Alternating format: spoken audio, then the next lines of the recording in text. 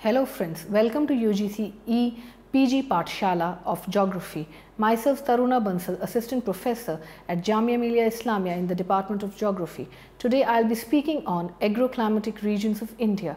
As we all know, India is an agricultural economy based country. So the need to study agroclimatic region is very important. The main objectives of today's lecture is to understand why climate plays a very important role in agriculture and therefore the regionalization should be based not only on agro factors but also on climatic factors. Such a deal has been or a plan has been made by Indian government for better planning of agricultural regions.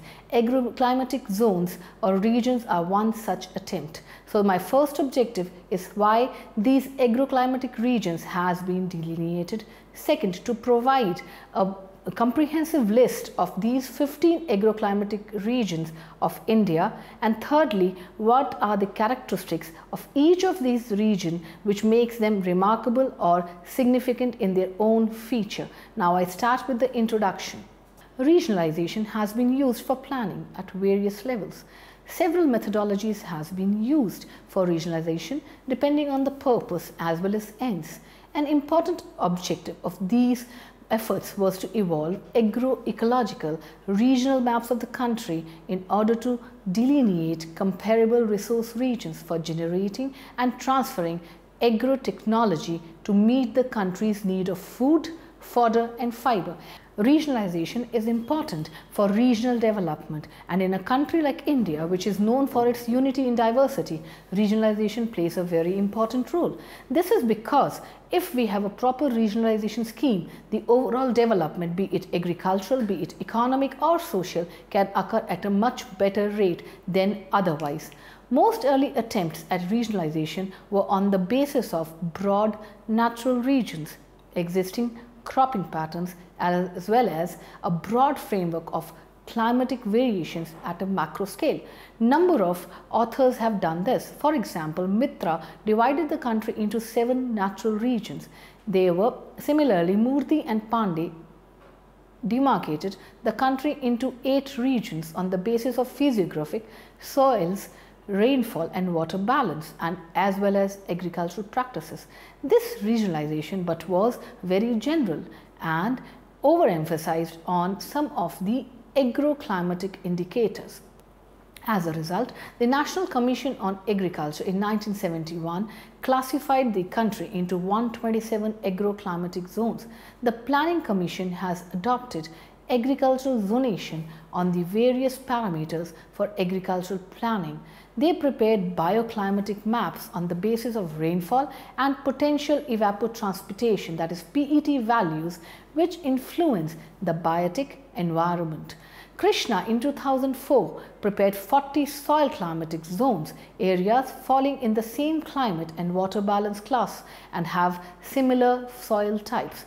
On the basis of the soil types and moisture index, the moisture index was based on Thornthwaite-Mather moisture index commonly known as MI approach where P is the precipitation. Thus, climatic classes were superimposed on 13 soil zone maps to evolve 40 soil climatic zones. The basic criticism of this approach was that although soil types were included in the zonation, they were not classified on the basis of their water retention capacity. As a result of all these attempts, in 1964, Planning Commission based its regionalization of India on physical conditions 1, topography 2, geomorphology 3, rainfall 4, cropping pattern 5, development of irrigation 6 as well as land resources number 7 and this entire thing was done at the district level. The function of the National Agricultural Research Project in 1979 by the Indian Council of Agricultural Research that is ICAR initiated experimental programs on agricultural research. Agroclimatic zonation or ecological land classification was undertaken on the basis of parameters like soils, climate, topography, vegetation, crops, etc.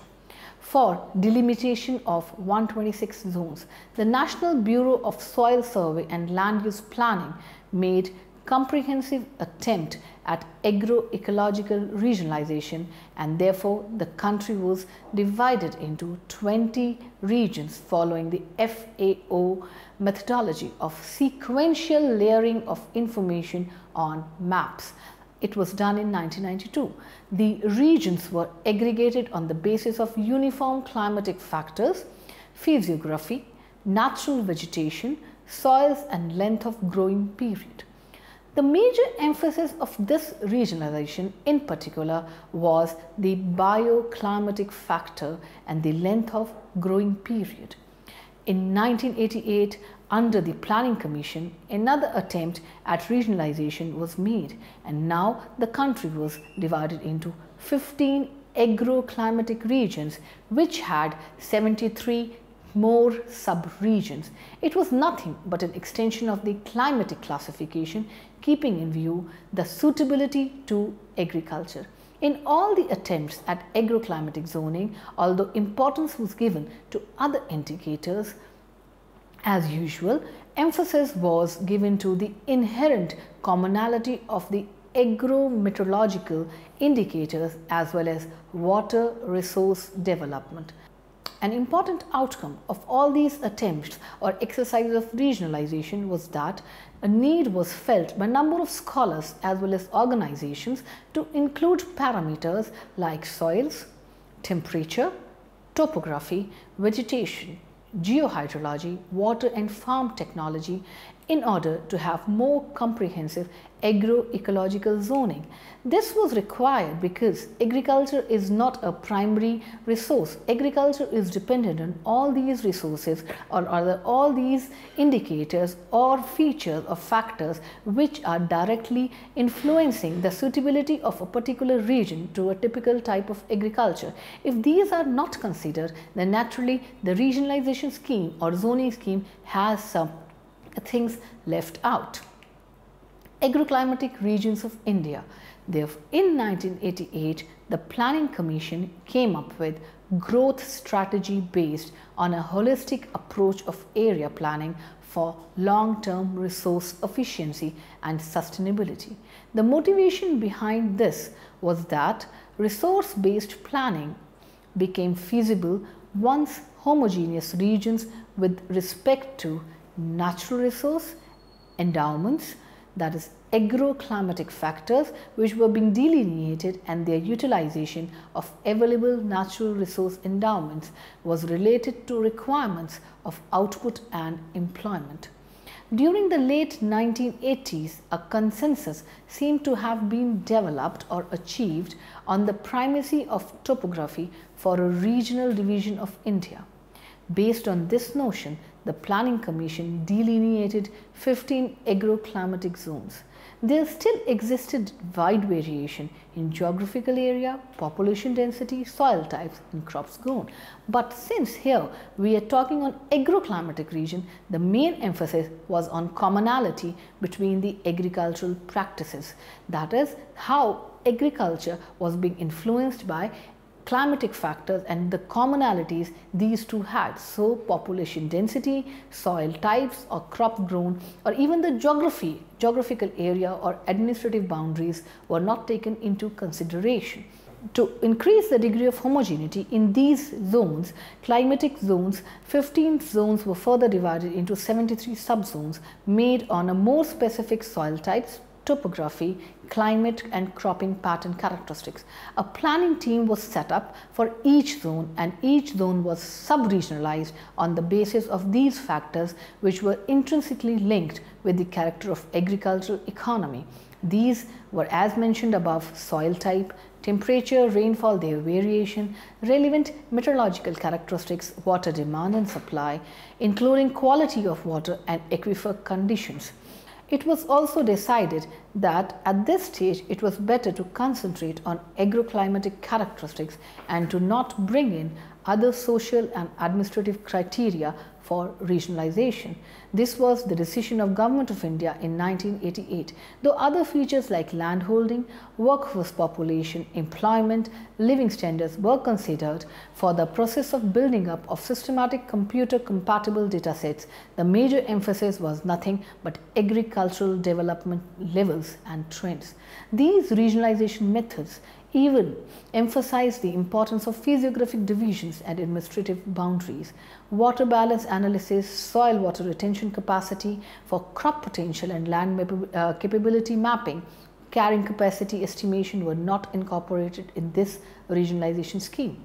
This identification of agroclimatic zones for the purpose of developing location specific research and development strategies for increasing agricultural production has been given the due impetus recently. In order to plan agricultural activities more accurately, each region into subregions based on soil climate, rainfed and other agroclimatic characteristics. Planning Commission has demarcated the geographical area of India into 15 agroclimatic regions. These regions have been further subdivided into more homogeneous 72 subregions.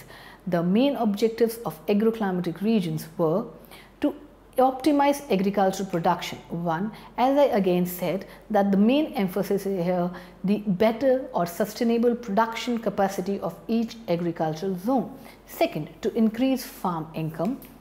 Third, to generate more rural employment. Fourth, to make a judicious use of the available irrigation water. Fifth, to reduce the regional qualities in the development of agriculture. So if we understand these five main bases of these agroclimatic zones, we basically understand that the main purpose of this regionalization is optimum utilization of resources, be it natural resources, be it social resources or be it economic resources. Now, we will discuss each one of these 15 uh, agroclimatic zones. I start with zone 1 which is called Western Himalayan region. This region extends in Jammu and Kashmir. Uttar Pradesh. Zone 2, Eastern Himalayan region which is in Assam, Sikkim, West Bengal and all northern eastern states. Zone 3 is Lower Gangetic Plains uh, which consists of West Bengal. Zone 4 is Middle Gangetic Plains which consists of Uttar Pradesh and Bihar. Zone 5 is Upper Gangetic Plains which is Uttar Pradesh. Then we have zone 6. It is nothing but the Transgangetic Plains which is found in Punjab, Haryana, Delhi and Rajasthan. Zone 7 is eastern uh, plateau and plains. Uh, sorry, sorry, it's eastern plateau and hills. Zone 7, yeah.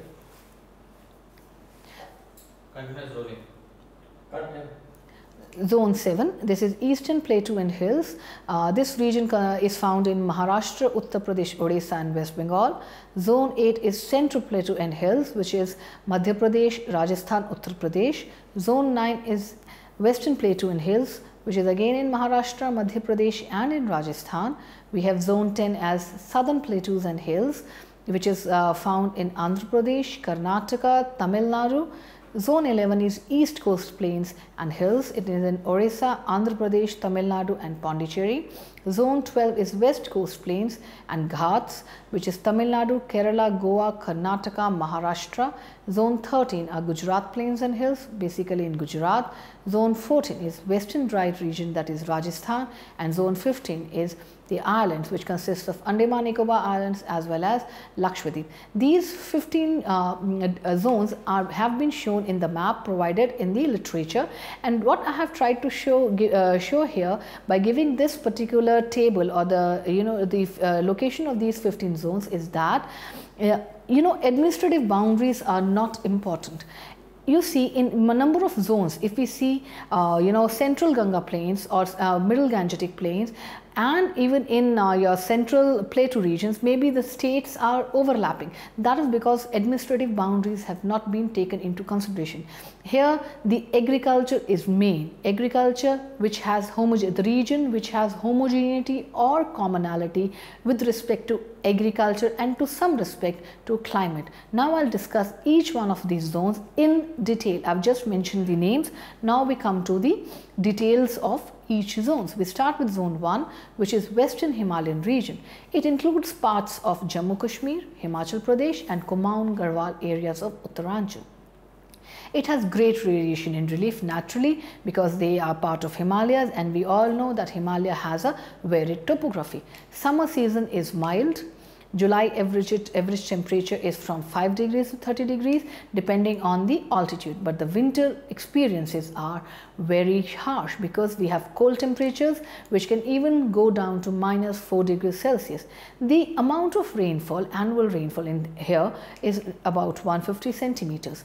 Zonal arrangement is found in vegetation as you know with the increasing height or with varying height the type of plants or the natural vegetation also changes. And as we are talking of Himalayas we know that Himalayas have different layers or different uh, levels. We have lesser Himalayas and we have also middle Himalayas or higher Himalayas. So naturally the vegetation is changing from one part of Himalayas to other. So that is quite evident in this particular region. We also have valleys and duns which have thick layers of alluvium example being Jhelum Valley if we talk of Kashmir which is uh, made of lacustrine and we have Dehradun Valley if we talk of Garhwal Himalayas and hill slopes have thin brown hilly soils.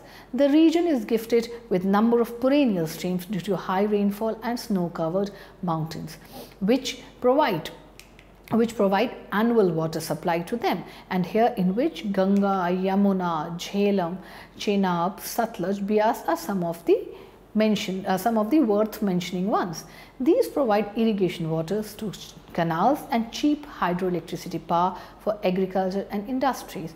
But in recent years, the increasing human interference had led to the deterioration of the ecological system of this particular region.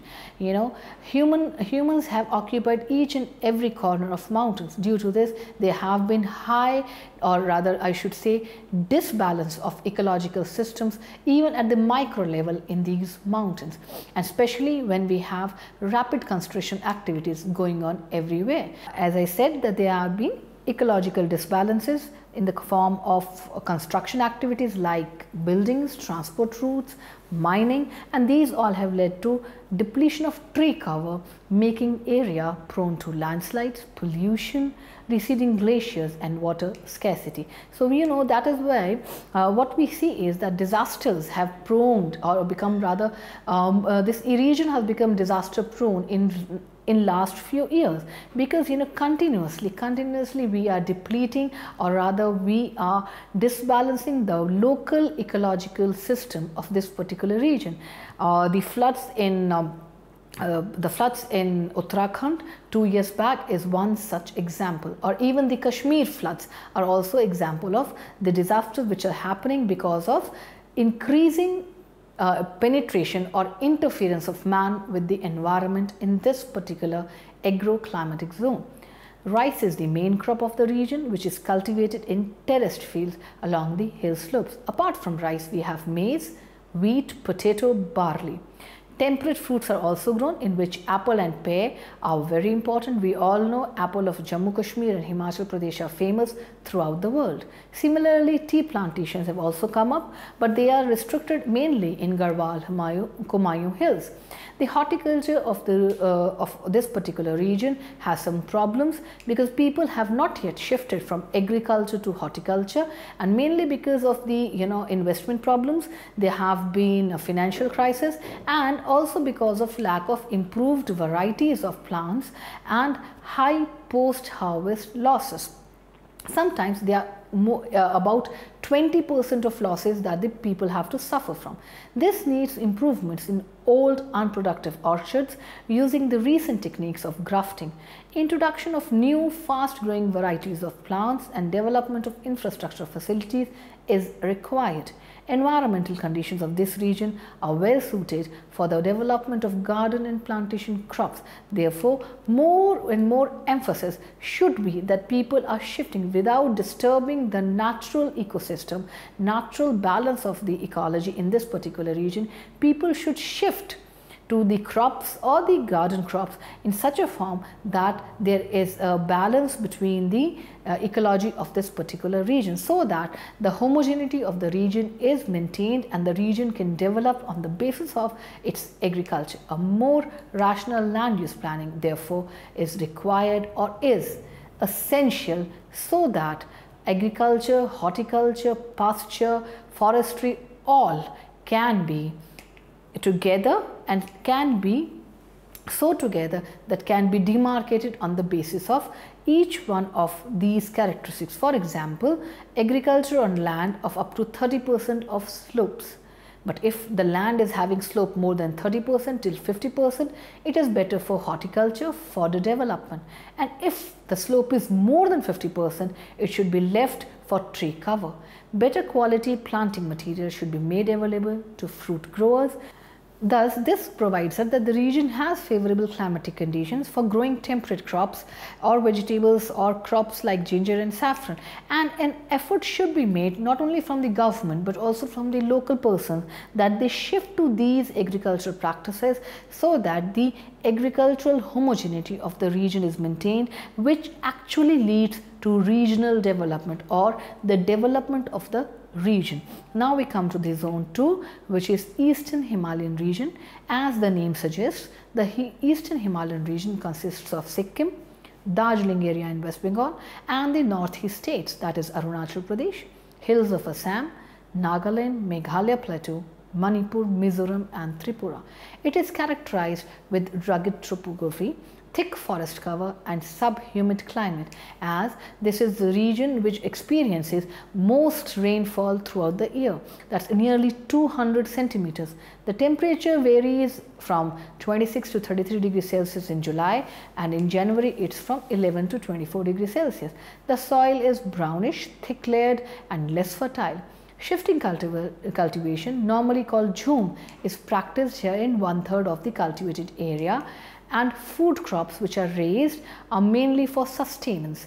These include rice, potato, maize, tea. Among fruits we have orange, pineapple, lime, lychee. But lychee is an exception because lychee comes in a, in a very smaller uh, regions because lychee is mainly a fruit of western uh, Himalayas. We found lychee in um, Garhwal Himalayas. So as to say that lychee being the main crop in eastern Himalayas would not be right. But in some regions maybe it is found. Pineapple is very famous out here among fruits. The ecological system of this region is problematic. Now, why do I say this? Because if we see the natural features or characteristics of this region, we see that first of all, it is a rugged topography, rugged topography of Himalayas with a mighty Brahmaputra flowing and the climate is also not as you know as uh, as defined as that was in the western himalayas. So the, and moreover if we come to the administrative part or the you know administrative boundaries again northeast has always been a problematic zone. So the overall ecological system is problematic here. The region needs marked improvement in infrastructural facilities to accelerate the pace of development. Soil degradation should be arrested by controlling deforestation and by terracing in hills. We know jhum cultivation which is also called as shifting cultivation is one of the form of deforestation because what we do is we cultivate the land and we do then slash and burn. So we leave the land, we leave the land fallow for some time which is of no use. So somehow it is degrading the capacity of land and it may further lead to deforestation and deforestation always leads to unhealthy balances in the ecosystem. So, this should be checked. The runoff should be checked and water conservation should be utilized in minor irrigation projects. shifting cultivation should be controlled by encouraging permanent settlements. A program to grow fruits above 30% slopes in the hills need to be framed. Supporting activities of sericulture, handicrafts, poultry and piggery should be promoted. A long-term quality seed production plan should be implemented to assure adequate supply of quality seeds to the farmers. Now, if you see the difference between zone 1 and zone 2, you can easily understand how different um, in uh, respect to agriculture these two are. Now, if we refer to the first region, you see, I, all, I, I kept on saying that this is being done, this is being done. Like for example, if the slope is still 30 degrees, 30 percent, agriculture is being practiced, practiced as terraces or on rice is being cultivated on terraced fields. If the slope is from 30 to 50 degrees uh, or rather 30 to 50 percent then uh, you know we have some other crops and if the slope is above 50 percent it should be left for tree cover but nothing such thing nothing such characteristic is visible in the eastern part of this particular eastern part, eastern zone of country. This is because of the varied topography which is very very rugged. Now in these two agriculture rather agroclimatic regions what I have done is I've tried to explain you why these zones or why this regionalization scheme is different from other regionalization schemes. Now what I'll do is we have zone 3 to zone 15 I'll just give you a framework of what these zones are what are the basic characteristics of these which you can further and for any further explanation you can read the text which is being provided along with this uh, lecture. So we come to the zone 3 which is nothing but the lower Gangetic plain region. This region spreads over eastern Bihar, West Bengal and Assam Valley. Since we are talking of lower Gangetic plains, so naturally we have high water table and canals and wells are the main irrigation sources. Now what is the problem of this region is that water logging is here and therefore what has happened here is that you know the crops the crops which are being grown are rice but strategies have changed here. Strategies have changed in the sense that within rice people have started horticulture. Now within rice fields you'll see banana also coming up mango also coming up number of citrus fruit are also being grown. Apart from this rice we also see pisciculture being an important characteristic of this particular region. And sometimes sometimes we also have good you know fish fishes from this freshwater fishes from this particular region which has led to the development of this particular uh, zone. Now, but, but uh, to include all this, there should be a commitment at the state level to guide and monitor the implementation of these processes. Zilla Parishad or the village panchayat should have control or should have the uh, should have a trained staff to look into the matter so that the region develops. Now the zone 4, it's again a Gangetic plain which is called as middle Gangetic plain. Uh, this region consists of part of Uttar Pradesh, rather eastern Uttar Pradesh and Bihar but Chota Nagpur plateau is not a part of this. It is a fertile alluvial plain uh, drained by Ganga river and its tributaries. Now, when we talk of this particular region, again, this is a, a, a, region which has a vast groundwater potential and as perennial rivers are flowing through this, irrigation is done either by tube wells, canals or wells.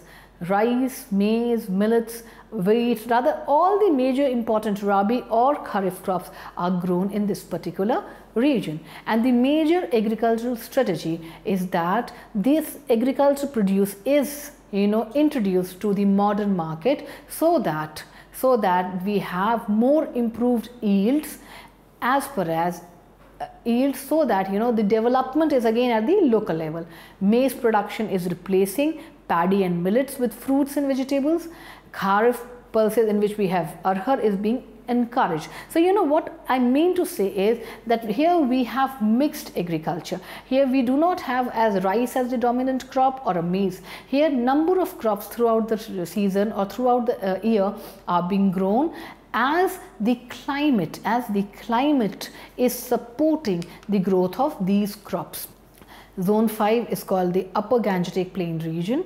This region encompasses central and western parts of Uttar Pradesh. The climate is subhumid continental. And you know here this region is different because the factors be it soil be it uh, you know uh, the temperature is very different from lower gangetic plain as well as the middle gangetic plain. But as again this is part of gangetic plain uh, tube wells canals are the main source of irrigation even wells.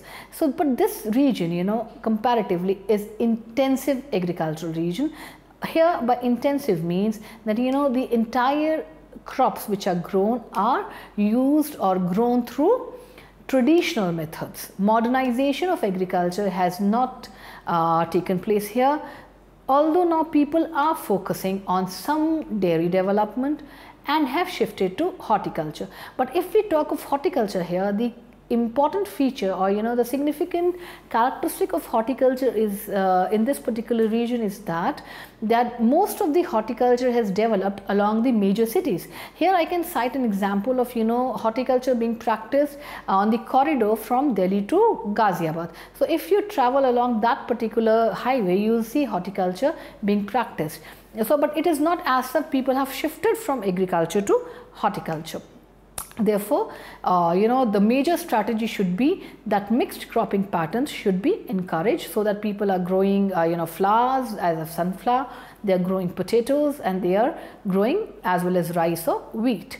So, this is required in this particular region. Somewhere there have been uh, problems of reclaiming uh, saline soils, you know, uh, uh eucalyptus trees, improving cattle breed. These are the problems, but the government surely is taking that into consideration. Now we have the zone 6 which is Trans-Gangetic Plain region.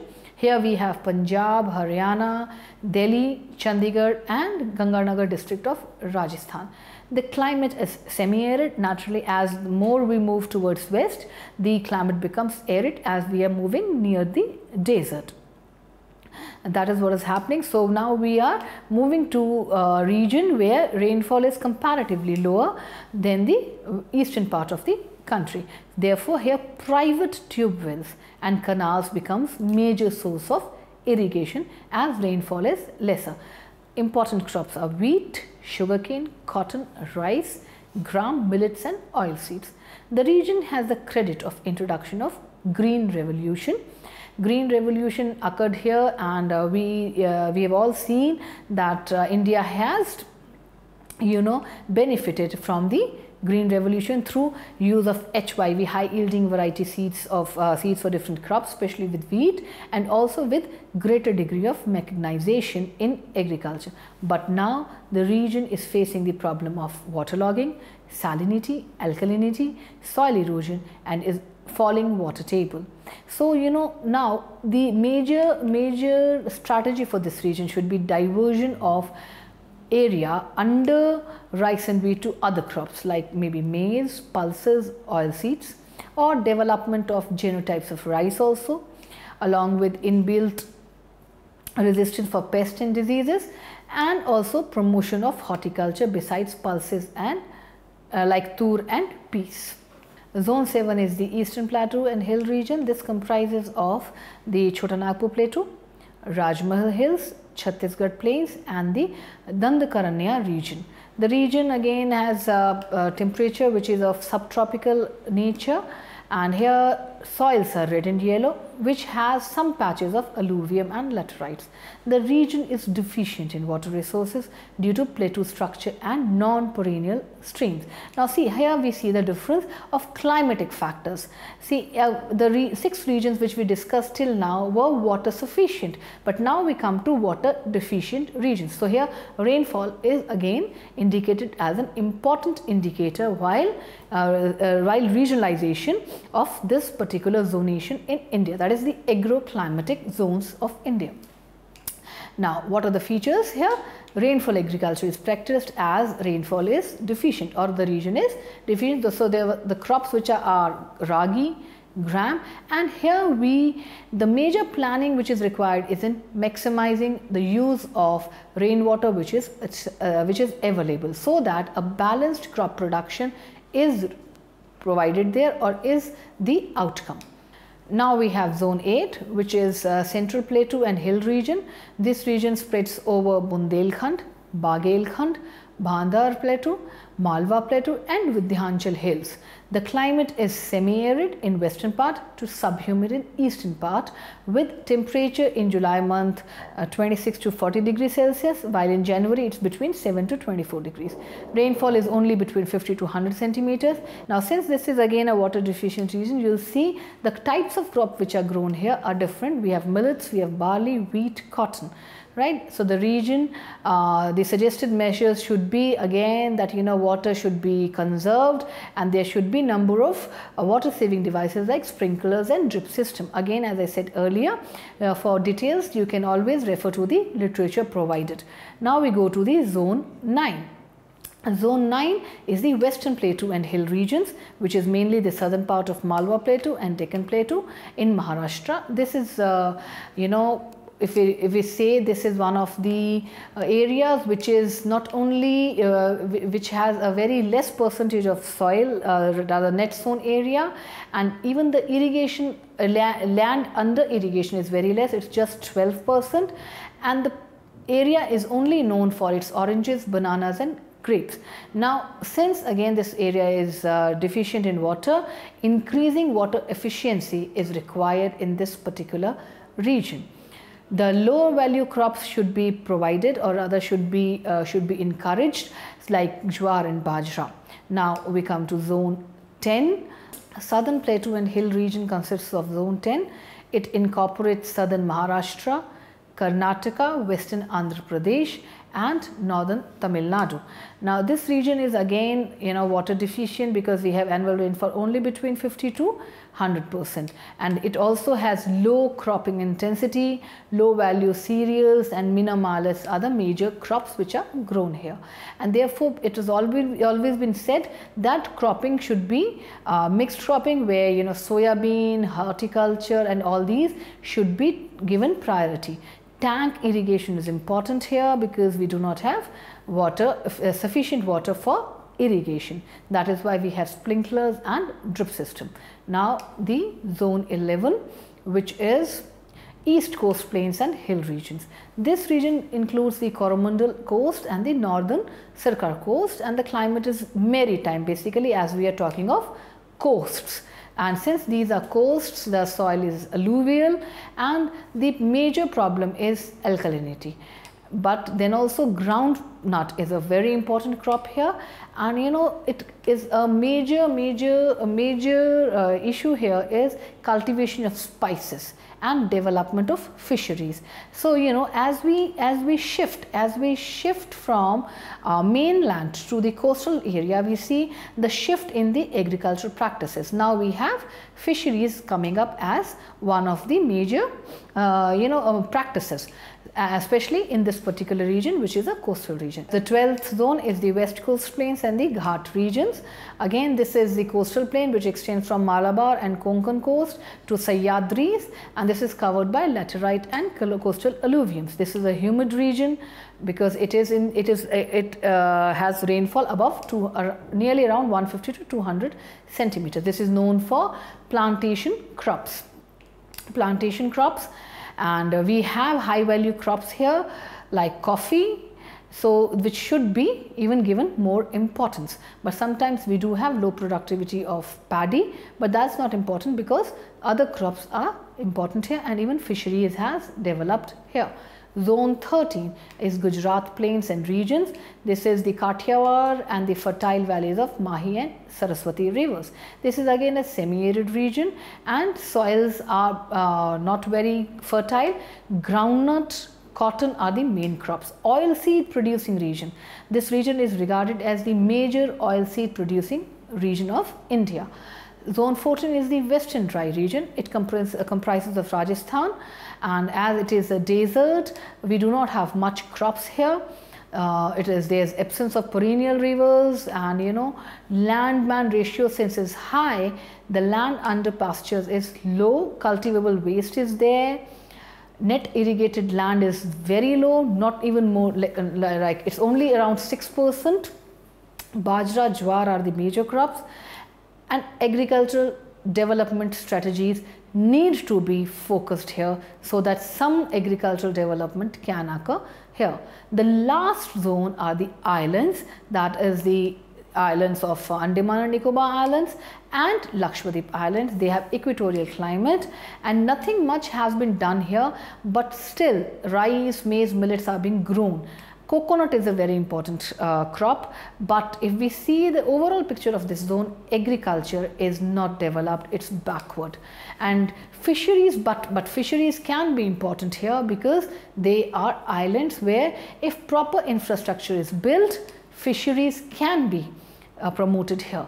Now what is the conclusion of this particular region or uh, this particular lecture? The conclusion is that if proper initiatives are taken, proper program strategies are implemented and integrated with the ground level, these agroclimatic zones can actually lead to proper agricultural development at local level in the country. And local level means from national to state to district to even to maybe, you know, village level. So for proper regional development, this is one of the best approaches which the Planning Commission has come up with for agricultural development. Thank you.